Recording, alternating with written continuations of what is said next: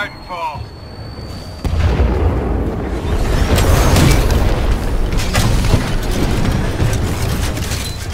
Pilot control online.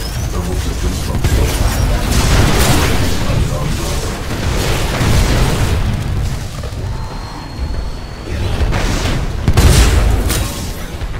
Well, that pilot's not gonna be happy in a few.